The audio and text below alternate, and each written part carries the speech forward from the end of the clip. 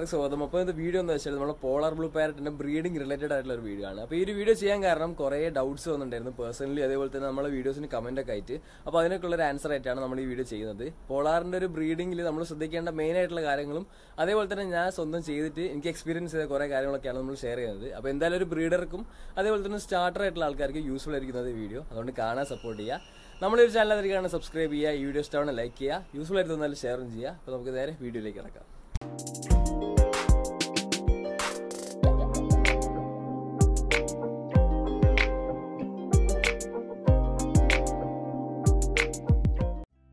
അപ്പോൾ കേസ് നമ്മളെ സിക്കിൾ ഫിഷിന്റെ ഒക്കെ ബ്രീഡിംഗ് സീസൺ സ്റ്റാർട്ട് ആവാൻ പോവാണ്. അപ്പൊ ഇന്നത്തെ വീഡിയോയിൽ നമ്മൾ ഒരു തുടക്കമായിട്ട് ചെയ്യുന്നത് പോളാർ ബ്ലൂ പാരറ്റ് എന്ന് പറയുന്ന സിക്കിൾ ഫിഷിന്റെ ബ്രീഡിംഗ് റിലേറ്റഡ് ആയിട്ടുള്ള കുറച്ച് കാര്യങ്ങളാണ്. അപ്പോൾ സിക്കിൾ ഫിഷിന്റെ ബ്രീഡിംഗിലേക്ക് കടക്കുന്ന ആൾക്കാർക്ക് ഏറ്റവും യൂസ്ഫുൾ ആയിട്ടുള്ള കുറച്ച് ടിപ്സ് ഒക്കെ ഇന്നത്തെ വീഡിയോയിൽ നമ്മൾ ഷെയർ ചെയ്യുന്നുണ്ട്. അപ്പോൾ സ്റ്റാർട്ടേഴ്സിന് സിക്കിൾ ബ്രീഡിലേക്ക് കടക്കുകയാണെങ്കിൽ പോളാർ ബ്ലൂ പാരറ്റ് എന്ന് പറഞ്ഞ ഈ ഒരു മീൻ ഏറ്റവും ബെസ്റ്റ് ആയിട്ടുള്ള ഓപ്ഷൻ ആയിരിക്കും. അപ്പോൾ എന്തായാലും അങ്ങനെ ഒരു പ്ലാൻ ഉണ്ടെങ്കിൽ ഈ വീഡിയോ ഒന്ന് കണ്ടു നോക്കുക സ്കിപ്പ് ചെയ്യാണ്ട്. ബ്ലഡ് പാരറ്റിന്റെയും കോൺവെക്സ് സിക്ലിഡിന്റെയും ഒരു അടിപൊളി കോമ്പിനേഷനിൽ കിട്ടിയ നല്ലൊരു റിസൾട്ടാണ് നമ്മളെ പോളാർ പാരറ്റ് എന്ന് പറഞ്ഞ ഈ ഒരു കുഞ്ഞൻ സിക്ലിഡ് ഒരു സ്റ്റാർട്ടർ ആയിട്ടുള്ള ഒരാൾക്ക് ഏറ്റവും സിമ്പിളായിട്ട് തന്നെ മെയിന്റെയിൻ ചെയ്ത് ബ്രീഡ് ചെയ്ത് സക്സസ് ആവാൻ പറ്റിയ ഒരു അടിപൊളി മീൻ തന്നെയാണ്. നമ്മളെ പോളാർ പാരറ്റിനെ പറ്റി പറയുകയാണെങ്കിൽ രണ്ട് കളർ വേരിയൻസിൽ അവൈലബിൾ ആണ്. ഒന്ന് നമ്മളെ പോളാർ ബ്ലൂ പാരറ്റും മറ്റൊന്ന് പോളാർ വൈറ്റ് പാരറ്റും. അപ്പോൾ രണ്ടും ബ്ലാക്ക് ഐഡ് ആണ്. അതുകൊണ്ട് തന്നെ മെയിന്റനൻസും ഹെൽത്തിന്റെ കാര്യത്തിലൊന്നും ഒരു പ്രശ്നമല്ല രണ്ടും ഒരേ രീതിയിൽ തന്നെ ഉള്ളൊരു മെയിന്റനൻസ് കാര്യങ്ങളൊക്കെയാണ് വരുന്നത്. അപ്പോൾ കളറിന്റെ അടിസ്ഥാനത്തിൽ നമ്മൾ ഇഷ്ടം പോലെ നമ്മൾ ഇഷ്ടത്തിനനുസരിച്ച് വാങ്ങാം. അപ്പോൾ രണ്ട് കളർ വേരിയൻസും ഇപ്പോൾ നല്ല രീതിയിൽ തന്നെ അവൈലബിൾ ആണ്. ഷോപ്പിലാണെങ്കിലും ഫാമിലാണെങ്കിലും. അപ്പോൾ നിങ്ങൾക്ക് ഇങ്ങനെ കളക്ട് ചെയ്യണമെങ്കിൽ ഒന്നെങ്കിൽ നമ്മളെ കോൺടാക്ട് ചെയ്താൽ മതി. ഓസ്കലിറ്റ്സ് എന്ന് പറഞ്ഞ ഒരു ഇൻസ്റ്റാഗ്രാം പേജ് ഉണ്ട്. അപ്പോൾ അതിന്റെ ലിങ്ക് ഞാൻ ഡിസ്ക്രിപ്ഷനിൽ കൊടുക്കുക ഇൻട്രസ്റ്റ് ഉള്ളവർക്ക് ജസ്റ്റ് ഒന്ന് ചെക്ക് ഇൻ ചെയ്ത് എൻക്വയറീസ് ഇട്ടാൽ മതി. ഇപ്പം നിലവിൽ പോളാർ ബ്ലൂ പാരറ്റിന്റെ നല്ല അടിപൊളിയായിട്ടുള്ള ബ്രൂഡ് സ്റ്റോക്സ് അവൈലബിൾ ആണ്. ലിമിറ്റഡ് ആയിട്ടുള്ള ഒരു എമൗണ്ടിലേ ഉള്ളൂ. അപ്പോൾ ഇൻട്രസ്റ്റ് ഉള്ളവർക്ക് എന്തായാലും മെസ്സേജ് അയച്ചാൽ മതി കേട്ടോ പോളാർ വൈറ്റ് പാരറ്റിന്റെ ഒരു അവൈലബിലിറ്റി നമ്മുടെ അടുത്ത് കുറവാണ്. അതുകൊണ്ട് തന്നെ വാങ്ങുമ്പോൾ നല്ലൊരു ഫാം ചൂസ് ചെയ്തിട്ടാണ് നിങ്ങൾ വാങ്ങുക. ഇനി നമ്മൾ ഷെയർ ചെയ്യാൻ പോകുന്നത് കോമൺ ആയിട്ട് വന്ന കുറച്ച് ഡൗട്ട്സിനുള്ള ആൻസേഴ്സ് ആയിട്ടാണ്. അപ്പോൾ ഒന്നാമത്തെ എന്ന് വെച്ച് കഴിഞ്ഞാൽ എങ്ങനെയാണ് ഒരു സ്റ്റാർട്ടർ ആയിട്ടുള്ള ആൾ നല്ലൊരു ബ്രീഡിംഗ് പെയറിനെ സെറ്റ് ചെയ്തെടുക്കുക എന്നാണ്. അപ്പോൾ ഈ ഒരു ബ്രീഡിംഗ് പെയറിനെ സെറ്റ് ചെയ്യുക ചെയ്യാന്ന് പറയുകയാണെങ്കിൽ നിങ്ങൾക്ക് പെട്ടെന്ന് റിസൾട്ട് വേണമെങ്കിൽ നമുക്ക് നല്ലൊരു ട്രസ്റ്റബിൾ ആയിട്ടുള്ള ഫാം വന്ന് അവരെ ബ്രൂഡ് സ്റ്റോക്സ് എന്നുള്ള സെയിൽ ചെയ്യുമ്പം അതിനകത്ത് നിന്ന് രണ്ട് പേരിനെ ചൂസ് ചെയ്യുന്നതാണ് എപ്പോഴും രണ്ട് പേരിനെ തന്നെ സ്റ്റാർട്ടിങ്ങിൽ ചൂസ് ചെയ്യുക. ഒരു പേരാണെങ്കിലും കുഴപ്പമില്ല. എന്നാൽ രണ്ട് പേരെ ചൂസ് ചെയ്യുകയാണെങ്കിൽ ഏറ്റവും നല്ലതാണ്. നമുക്ക് രണ്ടിനെ ഇങ്ങനെ വിലയിരുത്തി അവരെ ഈ ഒരു ബ്രീഡിങ്ങിന്റെ ടൈമിലൊക്കെ ഉള്ള ഒരു കാര്യങ്ങൾ നമുക്ക് എക്സ്പീരിയൻസ് ചെയ്യാൻ പറ്റും. അപ്പോൾ അങ്ങനെ രണ്ട് പേരെ ചൂസ് ചെയ്യാം. ഇപ്പോൾ പോളാർ ബ്ലൂവും വൈറ്റും ആണെങ്കിൽ അങ്ങനെ തന്നെ ചൂസ് ചെയ്താണ് ഏറ്റവും നല്ലത്. രണ്ടിനെ ടൈപ്പ് നമുക്ക് പഠിക്കാൻ പറ്റും ബ്രീഡിങ്ങിന്റെ ടൈമിൽ അപ്പോൾ അങ്ങനെ ചൂസ് ചെയ്ത് കഴിഞ്ഞാൽ നമുക്ക് പ്രൊഡക്ഷൻ ഇറക്കി അങ്ങനെ ഓരോ കാര്യങ്ങളും പഠിക്കാം. അല്ലെങ്കിൽ നമുക്ക് ടൈമൊക്കെ ഉണ്ടെങ്കിൽ സാവധാനം ചെയ്താൽ മതി എന്നുള്ളൊരു മൈൻഡ് ആണെങ്കിൽ നല്ലൊരു ഫാം ഇതേപോലെ തന്നെ ചൂസ് ചെയ്യാം.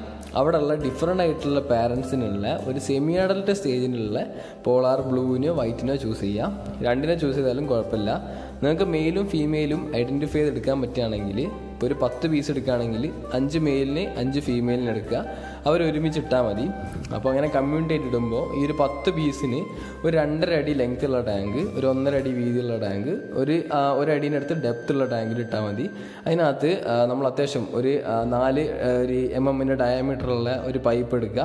അത് ചെറിയ ചെറിയ പീസാക്കിയിട്ട് ആ ഒരു ടാങ്കിൽ ഇട്ട് വെച്ച് കഴിഞ്ഞാൽ ഒരു നാലോ അഞ്ചോ മാസം കൊണ്ട് തന്നെ അവർ നാച്ചുറലായിട്ട് പെയറായിട്ട് ആ പൈപ്പിനുള്ളിലേക്ക് മാറി നിന്നോളും. നമ്മൾ രാത്രി കാലത്ത് പോയിട്ട് ടോർച്ച് അടിച്ച് നോക്കിക്കഴിഞ്ഞാൽ ആ പൈപ്പിനകത്ത് ആ പെയറുണ്ടാവും അതിനെ നമുക്ക് സെപ്പറേറ്റ് ചെയ്തിട്ട് ഒരു പെയറായിട്ട് തന്നെ നമുക്ക് കീപ്പ് ചെയ്യുക എന്നിട്ട് അതിന്റെ പ്രൊഡക്ഷൻ ഇറക്കിയെടുക്കുക അങ്ങനെ നമുക്ക് സാവധാനം അങ്ങനെ ചെയ്ത് ഇങ്ങനെ ഒരു സൈക്കിൾ പോലെ നമുക്കൊരു ബ്രൂഡ് സ്റ്റോക്കിന്റെ ഒരു സെറ്റായിട്ട് നമുക്ക് കൈ കിട്ടും. ഓരോ പെയറിന്റെയും ബേബീസിനെ വിലയിരുത്തിയിട്ട് നമുക്ക് ആ പെയറിന്റെ ക്വാളിറ്റി നമുക്ക് കീപ്പ് ചെയ്ത് അതിനനുസരിച്ച് നല്ല ക്വാളിറ്റീനെ മാത്രം കയ്യിൽ വയ്ക്കാം അല്ലാത്തതിനും നമുക്ക് സെയിൽ ചെയ്യാം. അങ്ങനെ ഒരു നല്ലൊരു ചെയിന് പോലുള്ള ഒരു പെയറിന്റെ ഒരു കളക്ഷൻ നമ്മൾ കീപ്പ് ചെയ്ത് കഴിഞ്ഞാൽ നമ്മളടുത്ത് നല്ലൊരു ബ്രൂഡ് സ്റ്റോക്സ് ഉണ്ടാവും. അപ്പോൾ എപ്പോഴും നമ്മളെ പ്രൊഡക്ഷൻ ഒരു കണ്ടിന്യൂറ്റി ഉണ്ടാവും. നല്ല രീതിയിൽ സെയിലും നമുക്ക് ഉണ്ടാവും.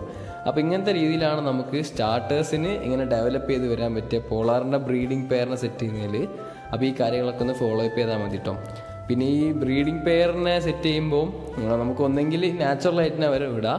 അല്ലെങ്കിൽ നമുക്ക് തന്നെ സെറ്റ് ചെയ്തിടാം. അപ്പോൾ അതിനെ ജെൻഡർ എങ്ങനെ ഐഡന്റിഫൈ എന്നുള്ളത് ഞാൻ നമ്മളെ വേറൊരു വീഡിയോയിൽ അല്ലെങ്കിൽ പോളാറിന്റെ പൊതുവേ നമ്മൾ ചെയ്ത വീഡിയോസിലൊക്കെ ഈ ഒരു പെയറിങ്ങിന്റെ കണ്ടന്റ് നമ്മൾ ആഡ് ചെയ്തിട്ടുണ്ട്. അതുകൊണ്ട് അതിന്റെയൊക്കെ ലിങ്ക് ഞാൻ ഡിസ്ക്രിപ്ഷനിൽ കൊടുക്കാം. അപ്പോൾ അതൊക്കെ ഒന്ന് കണ്ടു നോക്കാം അപ്പോൾ അങ്ങനെയാണെങ്കിൽ നിങ്ങൾക്ക് അതൊക്കെ ഒന്ന് മനസ്സിലാക്കിയതിന് ശേഷം ഈ ഒരു കാര്യം അപ്ലൈ ചെയ്താൽ മതി. അപ്പോൾ എപ്പോഴും നാച്ചുറലായിട്ട് ഇങ്ങനെ അവരെ പേരെയും വിടുന്നതാണ് ഏറ്റവും നല്ലത്.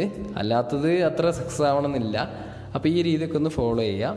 പിന്നെ നമുക്ക് വരുന്നൊരു പ്രശ്നം അല്ലെങ്കിൽ ഒരു ഡൗട്ടാണ് ഈ ഒരു നല്ല രീതിയിൽ മെയിന്റെയിൻ ചെയ്തുകൊണ്ടിരുന്ന ഒരു പോളാറിന്റെ പേര് ഈ ബ്രീഡിങ്ങിന്റെ ടൈമിൽ തമ്മിൽ അറ്റാക്ക് ചെയ്തിട്ട് ഒന്നെങ്കിൽ മെയിൽ ഡെഡായി പോവുക അല്ലെങ്കിൽ ഫീമെയിൽ ഡെഡായി പോകുക എന്നുള്ളൊരു കേസ് അപ്പോൾ ഇങ്ങനത്തെ ഒരു സീൻ വരുന്നത് എന്താണെന്ന് വെച്ച് കഴിഞ്ഞാൽ ഇപ്പോൾ നല്ലൊരു ബ്രീഡിംഗ് പെയർ ആണെങ്കിൽ ഇവർക്ക് ചില സമയത്ത് ഇപ്പോൾ ഒരു ഫീമെയിലിന് മാത്രമായിരിക്കും എഗ്ഗ് കെയർ ചെയ്യാന്നുള്ളൊരു മൈൻഡ് വരും.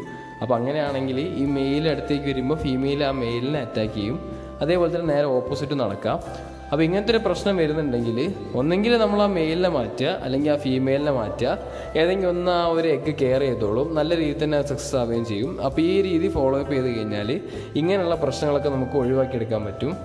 നമ്മളിപ്പോൾ ഈ ഒരു പെയറിംഗ് ഒക്കെ സെറ്റ് ചെയ്ത് കഴിഞ്ഞാൽ അടുത്ത ആ പെയറിനെ നല്ല രീതിയിൽ കണ്ടീഷൻ ചെയ്യണം. ആ കണ്ടീഷനിങ് ഇമ്പോർട്ടന്റ് ആയിട്ടുള്ളൊരു കാര്യമാണ്.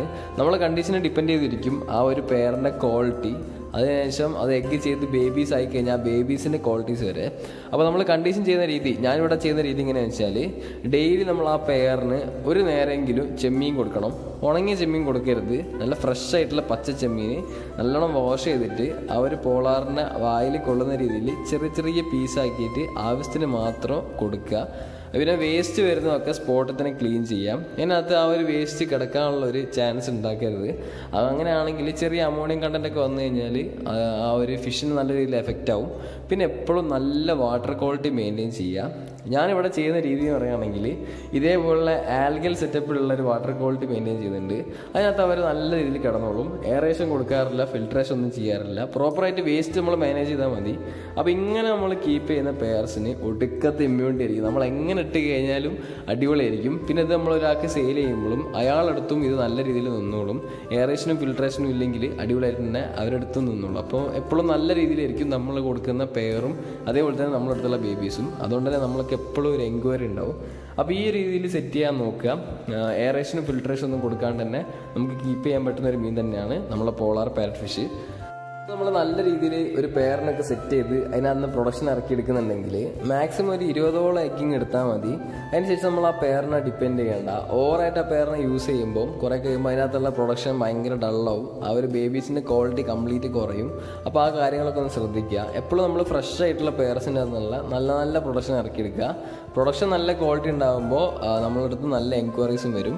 അപ്പോൾ അത് ഇമ്പോർട്ടന്റ് ആയിട്ടൊരു കാര്യമാണ് ശ്രദ്ധിക്കേണ്ടത്. പിന്നെ നമുക്ക് അടുത്ത വന്നൊരു ഡൗട്ടാണ് ഈ ഒരു പോളാർ പാരറ്റ് അവരെ ബേബീസിനെ കെയർ ചെയ്യുമോ എന്നുള്ളത്. നല്ല പാരന്റൽ കെയർ ഉള്ളൊരു മീനാണ് പോളാർ പാരറ്റ് അതുകൊണ്ട് തന്നെ നല്ല രീതിയിൽ തന്നെ അവർ ബേബീസിനെ കെയർ ചെയ്തോളും. അപ്പോൾ നമ്മൾ ചെറിയ രീതിയിലൊരു സെറ്റപ്പ് ചെയ്ത് കൊടുത്തിട്ടുണ്ട്. അപ്പോൾ ഈ ഒരു രീതിയിൽ ചെയ്യേണ്ട.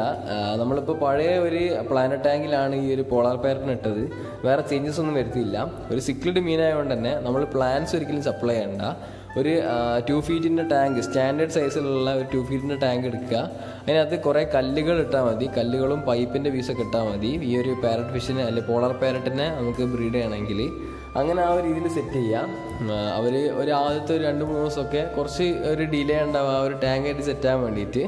പിന്നെ നമ്മൾ ഈ ടാങ്ക് എപ്പോഴും അധികം ഡിസ്റ്റർബൻസ് ഇല്ലാത്തൊരു സ്ഥലത്ത് വേണം വെക്കാൻ വേണ്ടിയിട്ട്. അപ്പോൾ ഒരു രണ്ടോ മൂന്നോ എഗ്ഗിങ് ചിലപ്പോൾ നമുക്ക് സ്കിപ്പായി പോകും ആ ഒരു ഏരിയ ആയിട്ടല്ല ടാങ്കായിട്ട് സെറ്റ് ആയി കഴിഞ്ഞാൽ സാവധാനം അവർ എഗ്ഗ് ചെയ്ത് ആ ഒരു ബേബീസിനെ കെയർ ചെയ്യുന്നുള്ള രീതിയിലെത്തും. അപ്പോൾ അവർ ആ എഗ്ഗിനെ മെല്ലെ മെല്ലെ കെയർ ചെയ്ത് തുടങ്ങി ആ ബേബീസിനെ റേസ് ചെയ്തെടുത്തോളും. നമ്മൾ കറക്റ്റ് ടൈമിൽ തന്നെ ഫീഡ് ചെയ്യുക ഇടയ്ക്കിടയ്ക്ക് പോയിട്ട് ഡിസ്റ്റർബ് ചെയ്യാണ്ട് നിൽക്കുക. അങ്ങനെയൊക്കെ ശ്രദ്ധിച്ചു കഴിഞ്ഞാൽ തന്നെ സാവധാനം അവർ ആ ഒരു ബേബീസിനെ റേസ് ചെയ്തെടുക്കുന്ന ഒരു സ്റ്റേജിലെത്തും അപ്പോൾ അങ്ങനെ അങ്ങനെ ചെയ്ത് കഴിഞ്ഞാലൊരു പ്രശ്നം എന്ന് വെച്ച് കഴിഞ്ഞാൽ എഗ്ഗിങ് നമുക്ക് അടുത്ത് കിട്ടുന്നത് ഒരുപാട് ഡിലേ ആവും. ഒരു വൺ മന്ത് ഒരു വൺ മന്തിന്റെ മുകളിലൊക്കെ ഡിലേ വരാനുള്ള ചാൻസ് ഉണ്ട്. അപ്പോൾ നമ്മളടുത്ത് ജസ്റ്റ് ഒരു ട്രയൽ പോലെ ഒരു പഠിക്കാൻ വേണ്ടിയിട്ടുള്ളൊരു പെയർ ഉണ്ടെങ്കിൽ നമുക്ക് ഈ രീതിയിൽ ബേബീസിനെ കെയർ ചെയ്യുന്ന പോലെ സെറ്റ് ചെയ്ത് കൊടുക്കുക. ഒരു ബട്ടൺ സൈസൊക്കെ ആകുമ്പോൾ നമുക്ക് ആ ഒരു ബേബീസിനെ മാറ്റിയിട്ട് നല്ല രീതിയിൽ തന്നെ നമുക്ക് റേസ് ചെയ്തെടുക്കാൻ പറ്റും. അപ്പോൾ ഇത്രയും കാര്യങ്ങളൊക്കെയാണ് നമുക്ക് ഈ വീഡിയോയിൽ ഇപ്പോൾ പുതിയതായിട്ട് ഇൻക്ലൂഡ് ചെയ്യാനുള്ളൂ. ഇനി എന്തെങ്കിലും ഡൗട്ട്സ് ഉണ്ടെങ്കിൽ മെസ്സേജ് അയച്ചാൽ മതി. അപ്പോൾ ഈ വീഡിയോ നിങ്ങൾക്ക് ഇഷ്ടമായിരിക്കും നിങ്ങളുടെ അഭിപ്രായങ്ങൾ എന്തായാലും കമന്റ് ചെയ്തിരാ വീഡിയോ ഇഷ്ടമായി എന്തായാലും ലൈക്ക് ചെയ്യുക. അപ്പോൾ ഒരു നല്ലൊരു വീഡിയോ പിന്നീട് കാണാം. അതായിരിക്കും ബൈ